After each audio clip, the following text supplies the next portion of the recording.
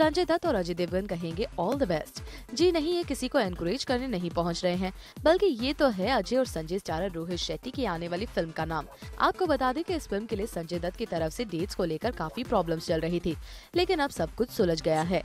यूँ तो इस फ़िल्म का स्केड्यूल मार्च फिफ्थ से शुरू होना था, लेकिन इस फ़िल्म को पाँच दिनों के लिए पोस्टपोन कर दिया गया और अब इस फ़िल्म का स्केड्यूल होगा शुरू मार्च टेंथ से। ये बदलाव इसलिए आया क्योंकि संजू बाबा ने अपने डेट्स अलॉट किए हुए थे ब्लू को, इसलिए इस फ़िल्म को रीस्केड्यूल करना पड़ा। ऑल द बेस्ट एक कॉमेडी फ़िल्म है और सुनने में आया है कि ये फ़िल्म हाई बजट में बनेगी।